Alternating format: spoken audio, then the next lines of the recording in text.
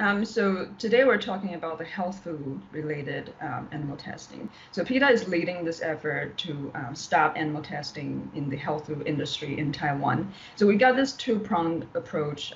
On one end, we're asking the Taiwan Food and Drug Administration to stop um, recommending and accepting animal tests from its regulations. And on the other end, we are asking the food companies to establish policies banning all animal tests that are not explicitly required by law. And this is a huge problem because currently Taiwan has uh, 15 um, health food related regulations, and most of them, the, the, the companies can choose to conduct either human tests or animal tests. So the animal tests are not required by law, but companies would do it because it's cheaper, it's faster, it's easier. For the last 20 years, like since the inception of the, the regulations, um, there are about 20 to 30,000 animals that are used just for the efficacy test to substantiate the health claims for foods.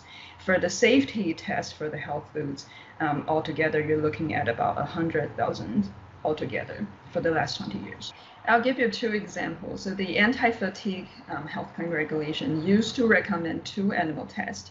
One of them is called the forced swim test. The other one is called the treadmill running test. So for the forced swim test, experimenters would drop mice or rats into beakers filled with water and watch how long they struggle before they drown or remain underwater for eight consecutive seconds. And if the animals learn to float and conserve energy, the experimenters will stir the water to force them to struggle. And to speed up the process of drowning, they would tie lead wires to their tails so to make it harder for them to struggle.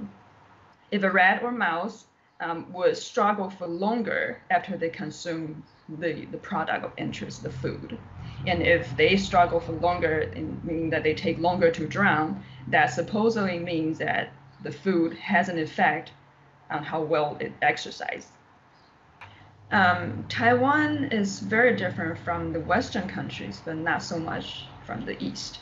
So the regulatory agencies in the European Union, in United States, in Canada, they all require safe and effective human tests for substantiating health claims for foods. They don't require animal tests. Um, in Asia, we know that at least Japan and Korea, they still accept animal test data for health claims, China not only would accept it, they actually demand animal tests. And for the anti-fatigue health claim, it's the exact same cruel force swim test. And it took us about two to three years um, because the, the government reviews the regulation one by one. And as soon as we caught a wind that they are going to review one of the regulations, we submit our scientific um, critique on the animal test at the agency's request. And we mobilized more than 73,000 members and supporters to write emails to the agency.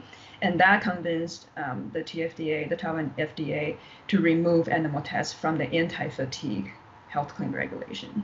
So in addition to avoiding products that has the little green man symbol that's with specifically with animal test data, um, people can also take action through our website that convince um, the government, the Taiwan government, and also the Taiwan um, health food companies to uh, ban animal tests. And people can sign our action alert through our website um, at peta.org.